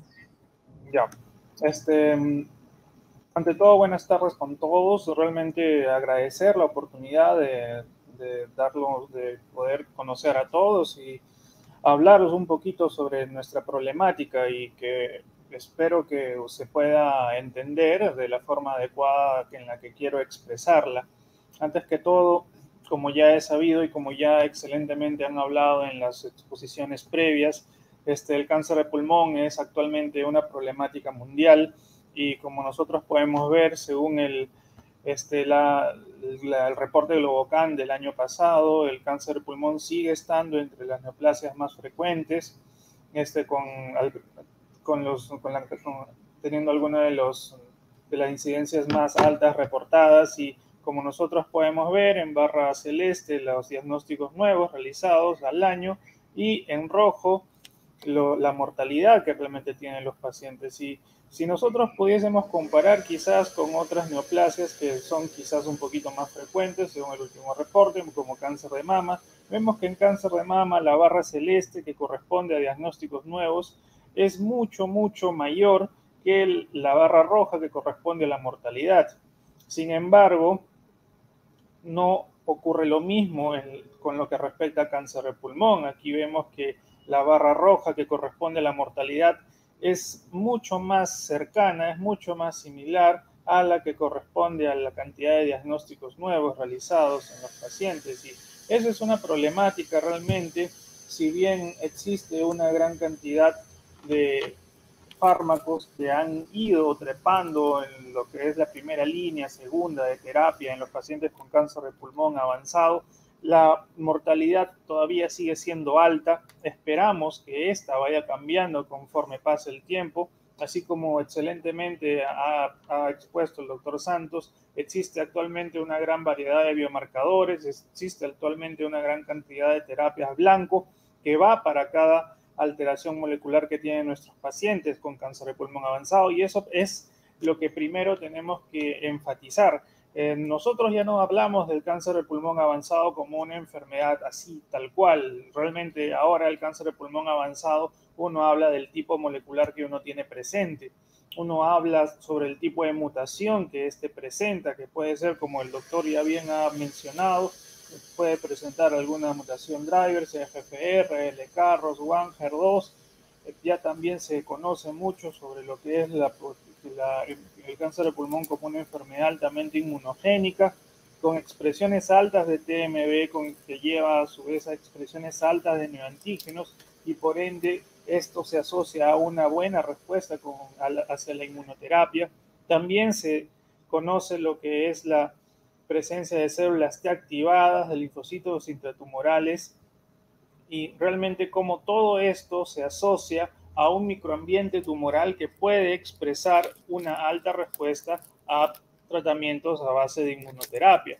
Y justamente eso es lo que se va a enfatizar en esta charla. Como ya se ha, ya se ha hablado, quizás uno de los tratamientos que más ha dado de qué hablar en la última década ha sido la ha sido los tratamientos con los seguidores de tirosinquinasa. Ya se conoce, no se va a profundizar en este punto, pero ya es bien sabido que el EGFR es una proteína transmembrana con un componente o una estructura transcelular, intra y extracelular. Y como se sabe, los dominios tirosinquinasa, se sabe que estos tienen una gran asociación con el desarrollo, con la activación de toda una cascada molecular la cual va a terminar en las vías del entorno y del MAPKT, lo que va a llevar a la proliferación celular, a la metástasis, al desarrollo de un microambiente tumoral proangiogénico.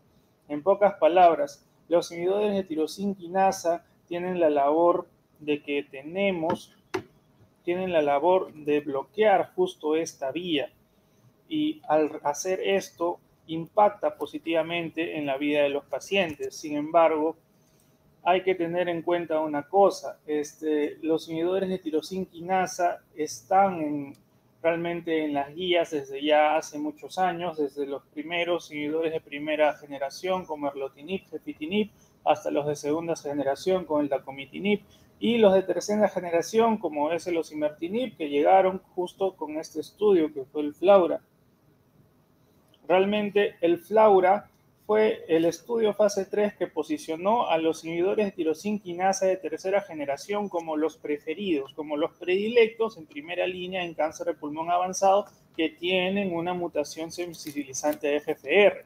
Este estudio comparó osimertinib, que es, como ya mencioné, un TKI de tercera generación versus ERLO o GEFI, que son los tratamientos de, de TKIs de primera generación. Y como ya es bien sabido, si bien por ahí no se pudo establecer un beneficio claro en sobrevía global a favor de los imertinib en comparación con los de primera generación, y esto realmente no se puede establecer por un diseño metodológico del estudio. Recordar que el crossover que fue permitido en estos pacientes que progresaban a primera línea con GEFI o ERLO, les permitieron proceder a recibir osimertinib si presentaban la mutación de T790M. Esto pudo afectar el estudio y pudo de alguna forma no llevar a que se exprese en un beneficio estadísticamente significativo en sobrevía global. Sin embargo, el endpoint del estudio fue PFS media, la sobrevida libre de progresión, el cual fue claramente a favor de los pacientes que recibieron osimertinib.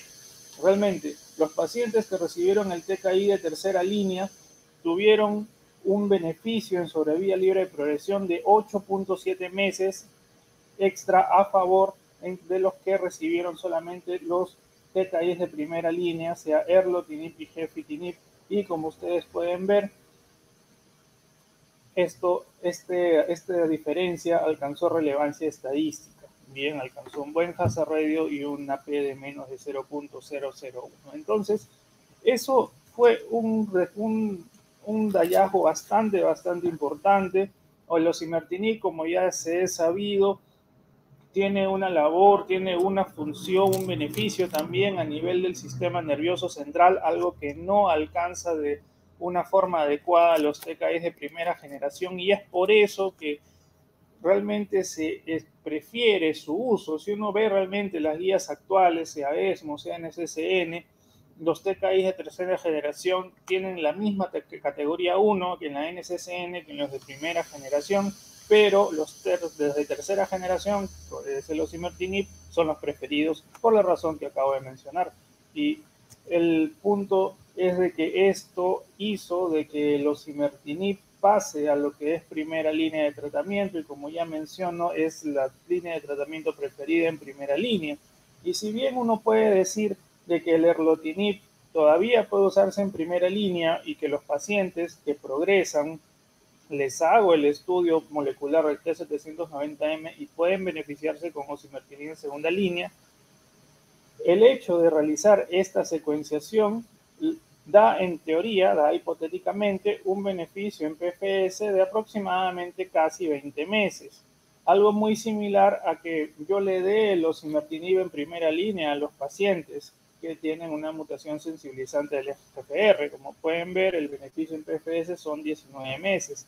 Ahora, hay que tener en cuenta que si yo prefiero dar osimertinib en primera línea, es porque realmente los pacientes que presentan progresión con alerlotinib y pueden recibir osimertinib, o sea, los que presentan esta mutación del T790M, no, no es la totalidad de los pacientes. Realmente, un, si bien es una de las mutaciones más frecuentes, alrededor de un 60% en promedio de pacientes va a tener esta mutación. Y también hay que tener en cuenta que no todos los pacientes al progresar a una primera línea van a encontrarse en condiciones óptimas de poder recibir una segunda. Recordar que muchos de estos progresan a nivel del sistema nervioso central o progresan y se encuentran en un estado clínico que ya no se benefician con más tratamiento. Lo que quiere decir que los pacientes que realmente llegan a osimertinib en segunda línea es una cifra mucho menor, es una cifra relativamente reducida. Aproximadamente estamos hablando de unos 40-45% y es lo que se ve en, nuestro, en nuestra práctica del día a día. Es por eso que el osimertinib llega en primera línea. Y si bien nosotros podemos decir que ya tendríamos hasta este punto un predilecto, nosotros lamentablemente, y lo digo de, de esta forma, nos chocamos con una realidad en que, al menos en lo que puedo hablar de nuestra realidad, el osimertinib es un medicamento bastante caro no es mi intención en esta ponencia hablar de precios, pero sí es mi intención hablar sobre lo que es la verdadera práctica del día a día en, en nuestra realidad. Y es que el osimertinib es un medicamento bastante caro para lo que es la mayoría de los sistemas de salud. Realmente existen dos tipos de sistemas de salud en mi país y lamentablemente, lamentablemente, ninguno de ellos puede coberturar el tratamiento con osimertinib. Nosotros tenemos erlotinib y si utilizamos el osimertinib es lamentablemente solo en lo que es la práctica privada. Y de la misma forma podríamos nosotros hablar de las mutaciones del rearreglo de la LK. El ALK, como nosotros también podemos ver, mi intención no es profundizar en esto porque realmente se ha hablado bastante bien de, de, de estas mutaciones en las potencias pasadas y nosotros quizás a mí me tocaría enfatizar quizás un poco más lo importante que es determinar el estatus molecular en cada paciente y es algo que en la actualidad se hace en cada centro, en cada hospital, en cada sistema de salud. Pero nosotros tenemos que tener en cuenta que la mutación de la LK es una mutación bastante infrecuente. Mundialmente nosotros tenemos una mutación muy baja, muy pequeña, menor del 5%. Y eso es algo que también me estaba olvidando hablar del, del, del EGFR. Este, del EGFR, si uno revisa la data mundial, es de aproximadamente 12%, aproximadamente 15%, pero en lo que respecta a Latinoamérica, la tasa es mucho mayor y realmente en mi país, en Perú, hay reportes que hablan de que nuestra tasa de mutación de EGFR es tan alta que llega hasta el 30-40%. Nosotros tenemos mutaciones, nosotros tenemos alteraciones realmente bastante particulares y que nos ponen como una población muy, muy particular y que nos ofrece pronósticos diferentes, nos ofrece respuestas a tratamiento diferente y eso es la realidad de cada población. Eso creo que es algo que se tiene que ver eh, definitivamente porque es muy diferente el perfil mutacional de los pacientes hispanos de los pacientes no hispanos. Bien, y es muy diferente incluso el perfil mutacional de un paciente con cáncer de pulmón avanzado que viene de Latinoamérica, del que viene de Centroamérica, del que viene de Estados Unidos, del que viene de Europa o Asia.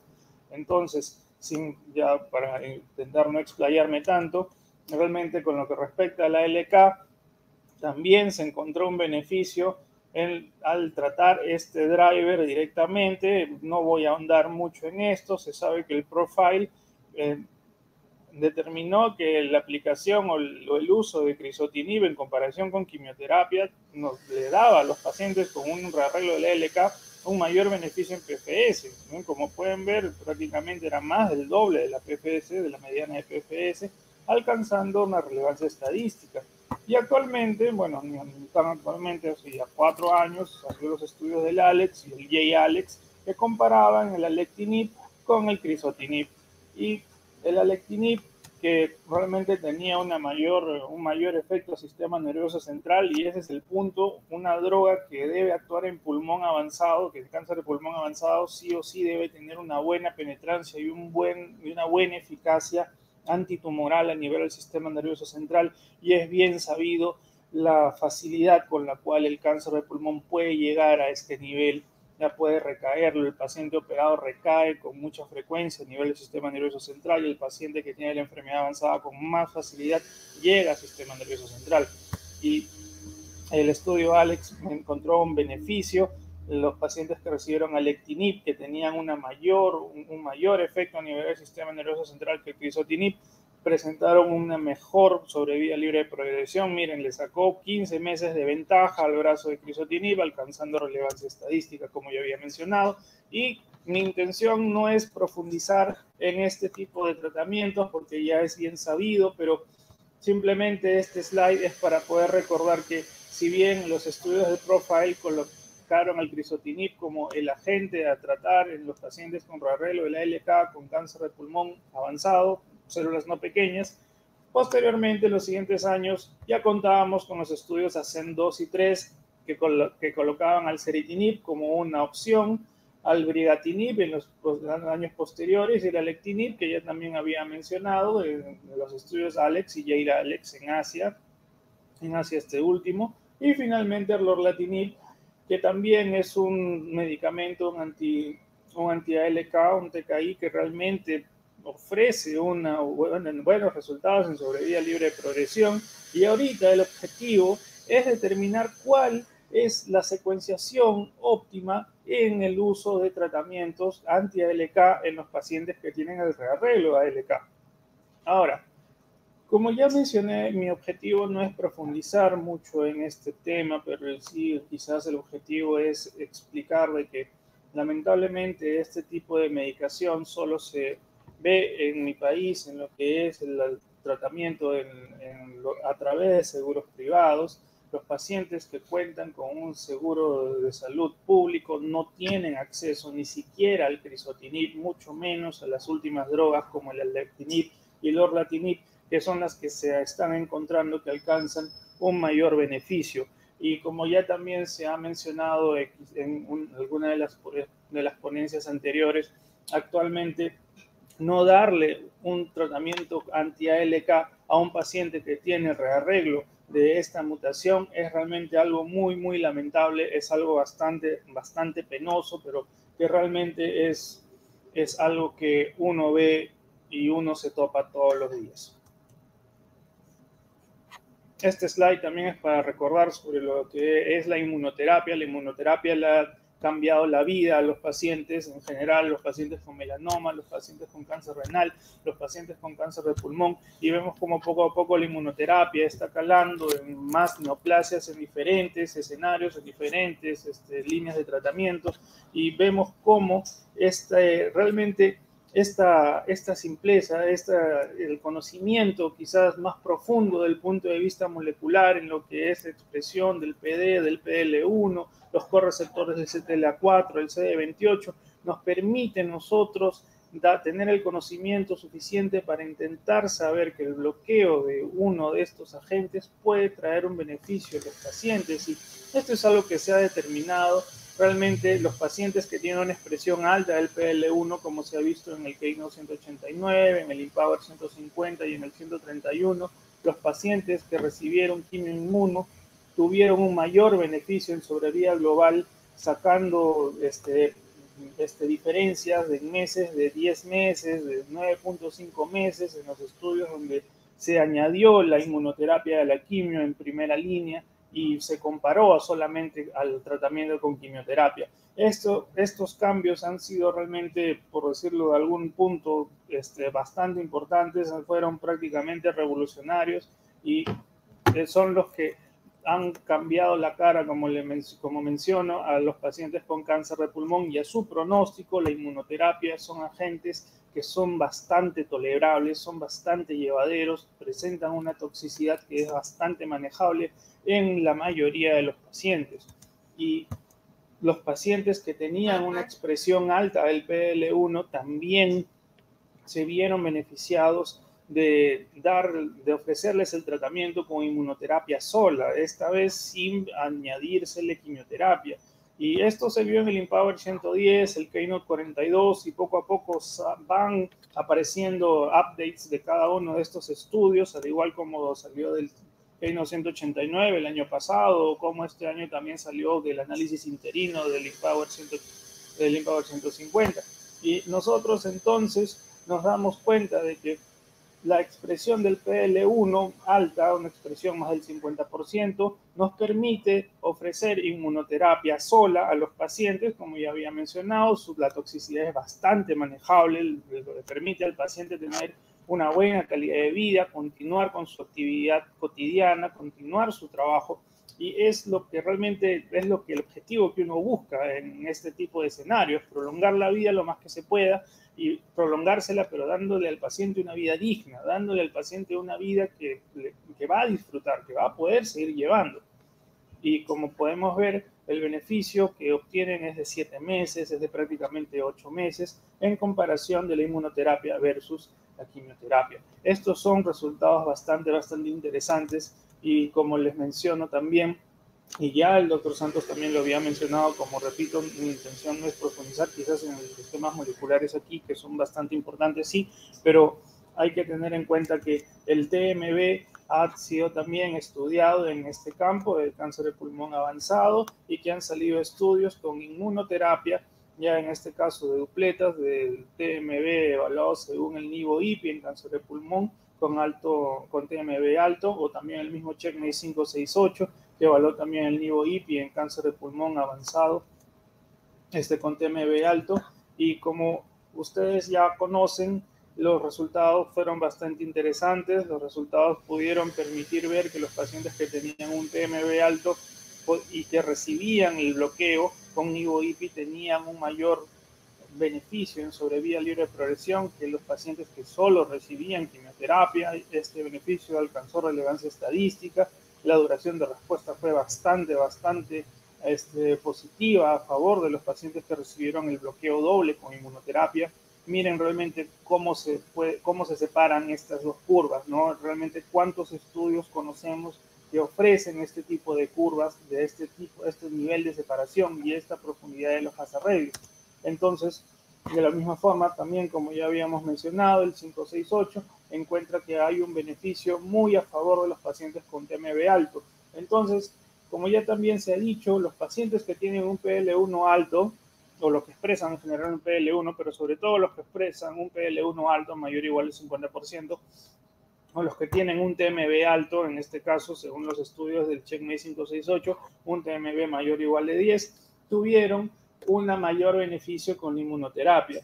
El, el punto del TMB también fue evaluado en otros ensayos, como el Keino 189, también como también los, como en los estudios del Keino 10, el Keino 42, donde se determinó también de que los pacientes que tenían un TMB alto se veían más beneficiados con la aplicación de inmunoterapia.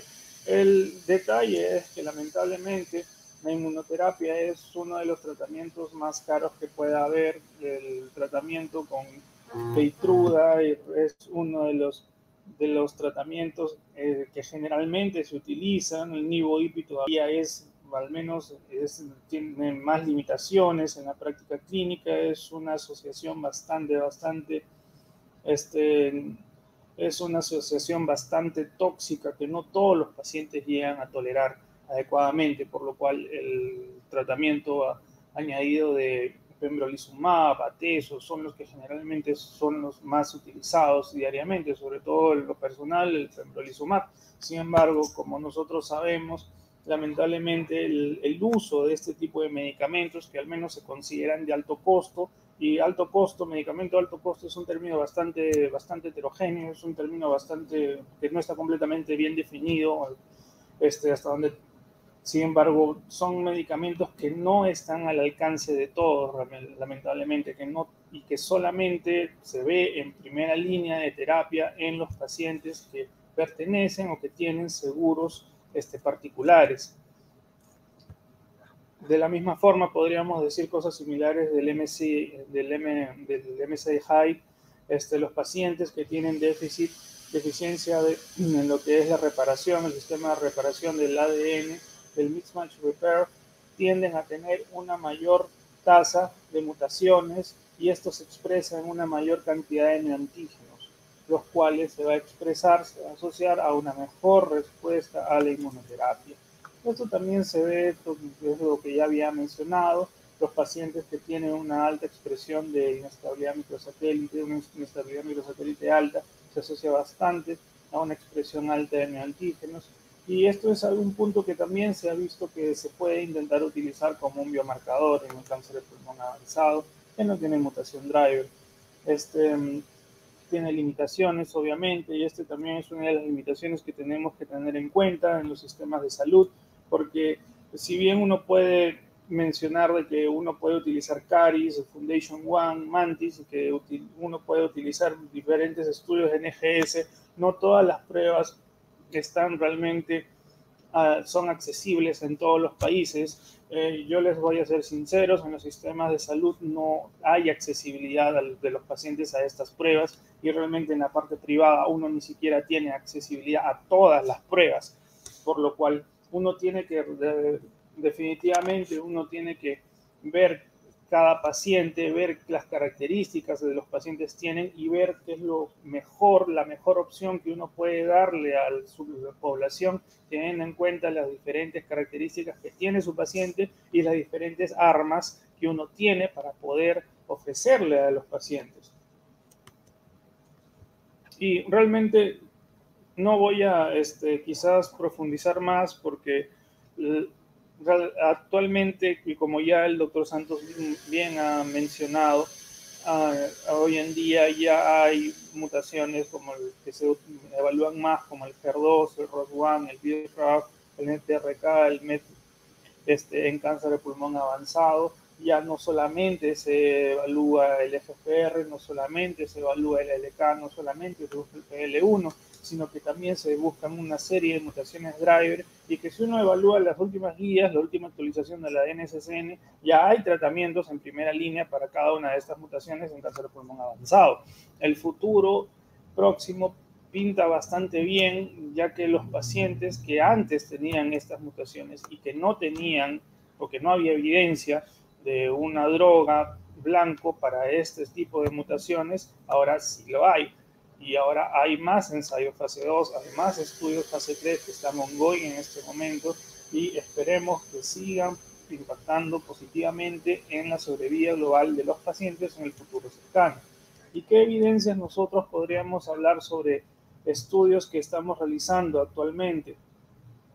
Este, para mencionar rápidamente y para hablar lo que se está haciendo en nuestro país, se está enfatizando lo que es los pacientes con cáncer de pulmón y la asociación con biomarcadores inflamatorios y ver si es que este se asocia a una buena respuesta en los pacientes con cáncer de pulmón que utilizan, que presentan una sensibilidad de FPR.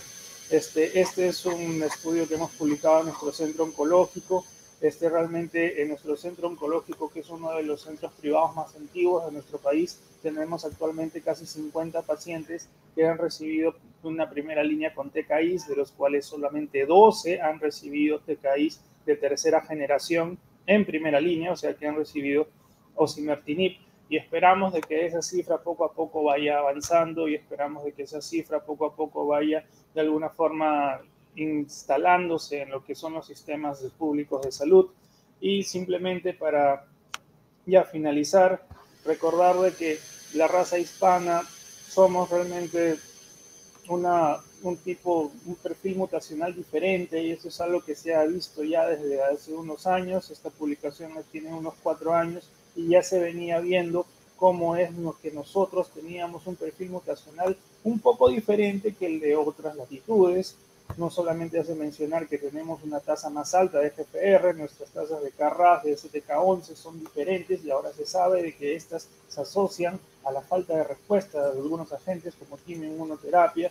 Y simplemente para concluir, el estudio mutacional del estatus molecular en cáncer de pulmón avanzado permite elegir la terapia blanco que va a beneficiar más a cada paciente. Sin embargo, la, accesibilidad a estos medicamentos en nuestros centros de salud este, en lo que es sobre todo en la salud pública, limita mucho el correcto tratamiento, el mejor tratamiento de nuestros pacientes. Y ojo, cada vez más, y esto es una gran verdad, cada vez más se va descubriendo más medicamentos, cada vez más se van, este, van añadiéndose más tratamientos a lo que es este, la, la, primera línea, la segunda línea en cáncer de pulmón y poco a poco cada vez más los seguros, y hablo específicamente de los seguros particulares, se está haciendo insostenible de que puedan coberturar todos los tratamientos que hay a nuestros pacientes, por lo que hay que evaluar bien cuál son los pacientes o cuál realmente son los medicamentos que traen mayor beneficio y un beneficio metodológico real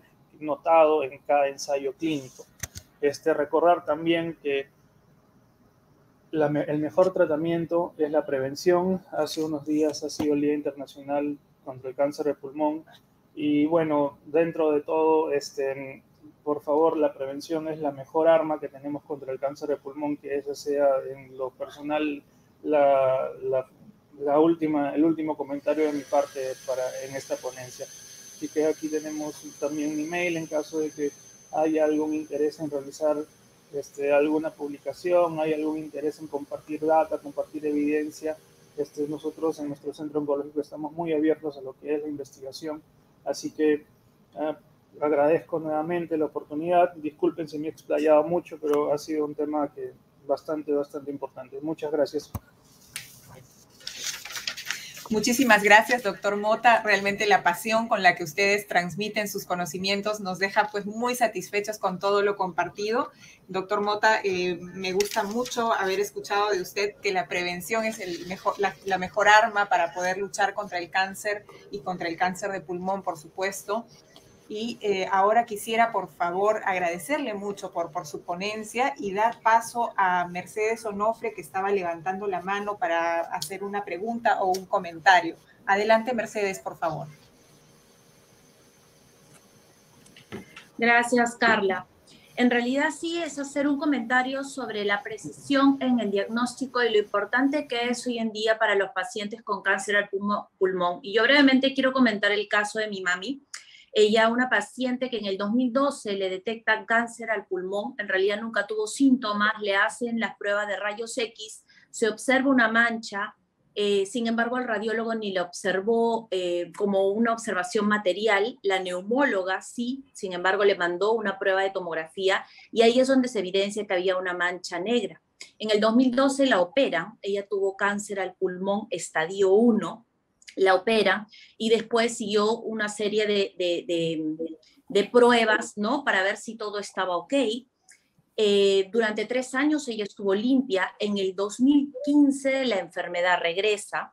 en ese momento se ven ya dos manchas, inclusive le hacen una, una biopsia física sobre eh, lo que habían extirpado en la operación y le hacen una biopsia líquida.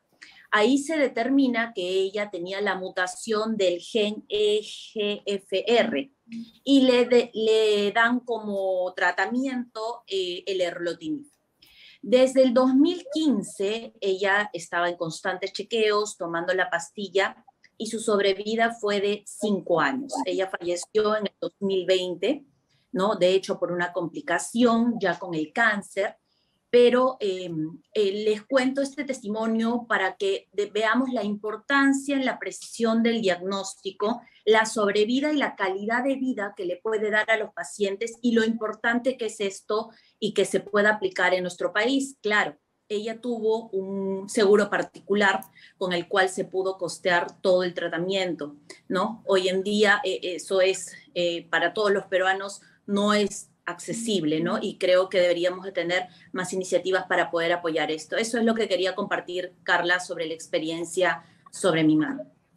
Muchísimas gracias a Mercedes Onofre por comentarnos una experiencia tan significativa. La señora Elena Lostanau eh, pudo compartir esta, esta lucha, ella desde, su, posición como paciente, que tuvo acceso a un diagnóstico preciso y a un tratamiento de, preciso también, tuvo una gran calidad de vida, tuvo una sobrevida mayor de lo usual y eh, predicó y promovió que en Perú y en Latinoamérica también pudieran todos los pacientes tener este acceso. Es necesario que nosotros como organizaciones de pacientes que hacemos advocacy en nuestros países podamos solicitar esta mejoría en los sistemas de salud. El doctor Mota ya lo decía, no en todos los subsistemas de salud o en todos los sistemas de salud existe el acceso. Hay grandes avances en la investigación, hay grandes posibilidades hoy para los pacientes con cáncer de pulmón, como dijo el doctor Santos, con nueve mutaciones genéticas tenemos una, un montón de posibilidades, pero eh, no, no está habiendo acceso. Entonces ahí eh, creo que está el meollo del asunto. Necesitamos poner este tema en agenda en primer lugar en todos nuestros países, poder dialogar al respecto, poder verificar qué es lo que necesitamos tener como mínimo en nuestros países para abordar bien el cáncer de pulmón y avanzar como bloque en Latinoamérica. Yo quisiera darles el pase final por favor, ya para el cierre de dos minutos a los doctores que nos han acompañado esta tarde. Doctor eh, Alberto Fernández, por favor, si podemos eh, contar con su opinión. Eh, em, sí, sí, yo estoy totalmente de acuerdo. Han sido muy enriquecedoras las ponencias de mis dos colegas oncólogos. Les agradezco su trabajo, excelente revisión. Y yo creo que la paciente con su testimonio ha contado algo que ya probablemente en un tiempo no será una, será una, cambiará totalmente. Y es que incluso en estadios locales el tratamiento eh, será tratamiento de mantenimiento si hay mutaciones específicas. ¿no? Y ya hay algún ensayo en esta línea con, con resultados prometedores porque no debemos de olvidarnos que incluso en un estadio 1 o 2, ¿no? pacientes que se hace una cirugía presuntamente curativa tienen un índice de recaídas importante y la mortalidad en estos estadios a los cinco años no es desdeñable. Y la situación que ha contado, a lo mejor en un futuro próximo, no debería de suceder porque debería de, eh, tendremos que hacer mutaciones. Eh, eh, análisis de estas mutaciones ya incluso en piezas de quirúrgicas de resección presuntamente curativas. Yo quería resaltar dos aspectos de los que se han hablado aquí, la multidisciplinaridad importante y la accesibilidad. El cáncer de pulmón tiene que ser una prioridad sanitaria en todos los países, independientemente del nivel socioeconómico de su población, porque es una pandemia, una pandemia tan importante y que va a persistir más tiempo probablemente que la infección o la pandemia que estamos viviendo ahora por el coronavirus. Los datos eh, son eh, terribles, con índices de mortalidad altísimos eh, y, aunque es muy prometedor el futuro, seguimos llegando tarde. Y esperemos que esto no suceda durante muchos años. Y muchas gracias por la oportunidad de compartir esta excelente mesa. Gracias a usted, doctor Alberto. Adelante, por favor, al doctor Edgardo Santos. Está sin audio, doctor.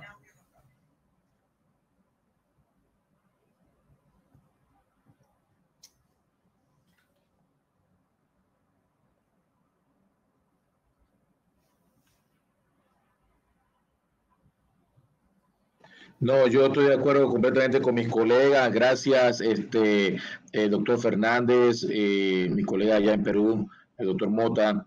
Eh, el doctor Mota mencionó algo al final que una cosa que siempre eh, peleamos y seguimos peleando y no vamos a, desmayar eh, eh, a través de otras latitudes y organizaciones en cómo obtener acceso a estos fármacos, porque yo tengo un problema global. De lo más sencillo, como decía el doctor Mota, que muy bien lo explayó, yo sé que estos problemas existen en nuestros países, ah, en, mi, en mi propio país, en Panamá, eh, es difícil conseguir estos eh, análisis moleculares muchas veces en la privada, pero a nivel institucional, en, ya en la, parte de la salud pública, es muy difícil. Y claro, están los costos y todo lo demás. Eh, yo he tenido la oportunidad, por lo menos con esta compañía Garden Health, de tratar de ayudar a la mayor cantidad de pacientes allá en Latinoamérica. Creo que ellos tienen una oficinas allí en Colombia y de allí este, algunos colegas pueden mandar estas muestras eh, al laboratorio, si no me equivoco, está en Colombia. Pero una vez diagnosticado al paciente con una de estas mutaciones, viene el proceso del costo. Ya lo dijo la, señorita que acaba de hablar, que su mamá fue tratada con erlotinib. No sé en qué año fue ella tratada, creo que hace cinco años, cuando realmente eh, hay fármacos que son eh, más poderosos que el erlotinib, estamos en tercera generación. Y esas son las cosas que en el ICLC eh, queremos ir eliminando poco a poco. Cómo tratar de ayudar a otros países a tener acceso a la mejor droga. No a una droga que sea efectiva, sino a la mejor. Porque todo ser humano, en mi opinión, merece eh, que se le trate con la terapia eh, que debe ser la adecuada. Muchísimas gracias, doctor Santos. Muchísimas gracias al doctor Alberto Fernández y, por supuesto, al doctor Mota que nos acompañaron. Quiero dar un saludo muy especial a la señora Mayra Galindo, que se conectó desde México, a Briseida Cantillo desde Costa Rica, a Nancy Ortiz desde Chile, a Ignacio Servino desde Argentina, a Alejandra Toro desde Colombia, a Omaira González desde Panamá, a Mercedes Onofre, que se conectó desde Perú, a la Fundación Retorno Vital de Colombia, a Sandra Aquino de Honduras, a Francisco Vilangosi de Chile, a Deyanira Hernández de Costa Rica, a Elena Esteves de Brasil, a Sandra Toledo de Uruguay, a Fanny Núñez de México y a todos nuestros compañeros que se conectaron desde el Facebook en vivo. Muchísimas gracias a todos y en respeto del tiempo, nos hemos pasado un poquito, pero ha estado realmente súper enriquecedora la, la, Así que muchísimas gracias y por invitarlos a nuestra próxima ponencia el día 30 de noviembre a la misma hora. Gracias a todos, buenas tardes.